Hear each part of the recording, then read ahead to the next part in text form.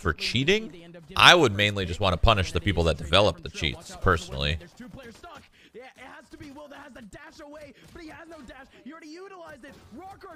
Wow. Jesus. Clean. No fucking Maximus, Maximus. Okay, that was really bad. I don't know what happened. Brax whiffs or something, but He was jumping around, man. It's hard.